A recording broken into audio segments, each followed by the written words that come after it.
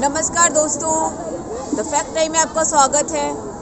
जानते हैं आम जनता की जुबानी क्या है? डेरा सच्चा सौदा क्या है? गुरमीत राम, रहीम सिंह जी इंसान। जी मैम, आपका नाम?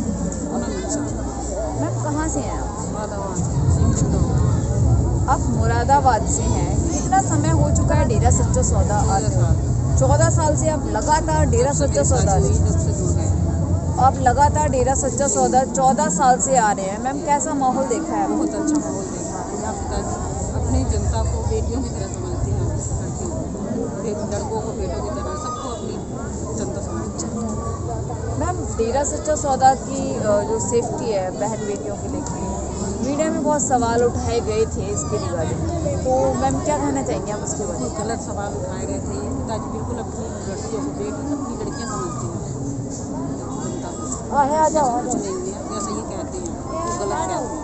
हमारे साथ बहुत चमत्कार हुए मैम गुरमीत राम रहीम सिंह जी इनसा लगभग चार साल से नहीं है समाज में क्या फ़र्क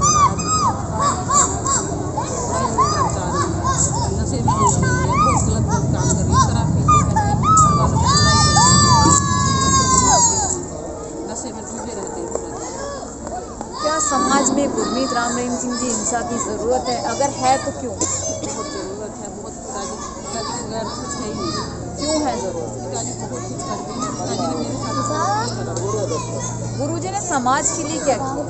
समाज के लिए समाज को सुधारने के लिए करते क्या क्या कदम उठाए?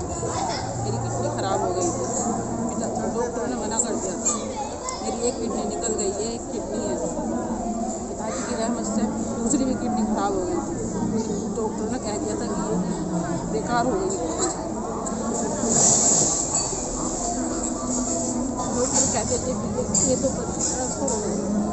पिताजी की रहमत से मैंने दिन रात सुनत किया सुन करके जब डॉक्टर के पास चेकअप कराने के लिए पहुँची, डॉक्टरों ने कहा, ये तो चमत्कार हो गया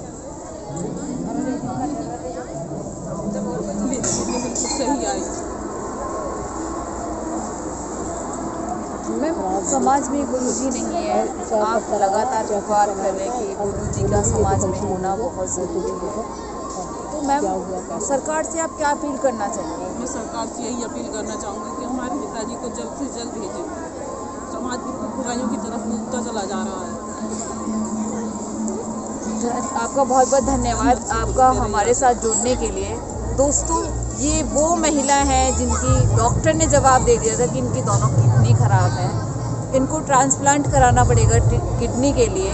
लेकिन आज ये सही सलामत यहाँ पे बैठी हुई हैं हमारे सामने और इनके पास रिपोर्ट्स भी हैं। ये रिपोर्ट्स भी दिखा सकते हैं कि पहले किडनी में कोई खराबी आई थी जिस वजह से किडनी ट्रांसप्लांट के लिए बोला गया था। लेकिन अब ये बिल्कुल ठीक है, सिर्फ़ और सिर्फ़ मेडिटेशन की वजह से। तो आज ये अपनी जुबानी, अपनी कहानी आप लोगों तक पहुँचा रही हैं। तो लोगों, आप भी सोचिए, खुले दिमाग से सोचिए, कोई किसी के लिए नहीं रोता। ये इन्होंने आप बीती सुनाई है, जब खुद भी आप बीतती है ना, तब बंदे को पता लगता है, उससे पहले कुछ भी नहीं पता लगता। तो आपसे रिक्वेस्ट है कि प्लीज़ आप खुले विचारों से ज़रूर सोचिए और कमेंट बॉक्स में अपनी राय ज़रूर